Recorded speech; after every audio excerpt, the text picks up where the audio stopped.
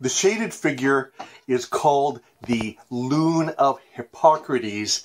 It's a geometric puzzle which I got from Michael Penn, and he in turn got it from a dead mathematician with a beard. Uh, the the object is to show that that crescent shape, that the shaded crescent shape, has the same area as that triangle which hangs below it. So let's go. The triangle is a right triangle and its legs are the same size. Now the crescent, the, the lune, it's made up of two portions of circular arcs. Uh, the the upper one, the large one, it's a semicircle where the diameter is the hypotenuse of that triangle. And then you've got the smaller arch. You can see that's a quarter of a circle. Uh, the wedge is made up of that small curve and then the two legs of the of the triangle. So half circle, quarter circle. Now we're going to construct this diagram with a compass and straight edge GeoGebra. Begin with a point, which we'll call C, draw a circle around that point. We draw a straight line through C, so that line is going through the diameter of the circle.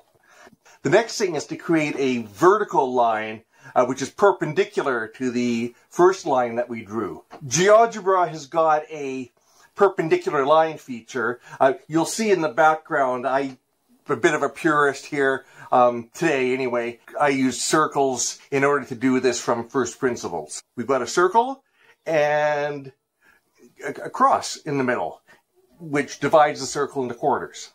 And where that those lines intersect the circle, those points we can connect together to form a square that's tilted a bit. Finally, we draw another circle through point E on that diagram through A and B. Its radius is two of the sides of that square.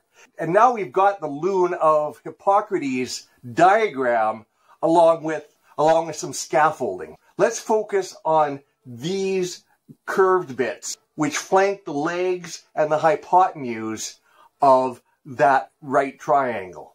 Now, we're used to Pythagoras, where if we have a right triangle and we have squares on the legs, their sum total area will be the same as the area of the square on the hypotenuse. a squared plus b squared equals c squared. Okay? But what you may not know is that this works for any three geometrically similar, by that I mean like scaled up or down, but they're the same, geometrically similar figures attached to the legs and hypotenuse of a right triangle. Those two lower saggy curved bits, they have the same area together as the as the upper, the little dome. Well, let's show the part of the diagram with the lune in it. And it's got also those same small chunks of circle and the larger chunk of circle. You can see that the lune consists of these two convex curves uh, along with a concave curve. That's your lune. But we know that we can swap, as far as air, without changing area, those two smaller concave bits with the bottom concave bit. They have the same area. But now it's the triangle that's shaded. Yeah, it's the pointy up triangle, but it's going to be the same as the pointy down triangle. Bob is your uncle. If you enjoyed this, give it a thumbs up, and uh, here's some more delightful content for you. Cheers.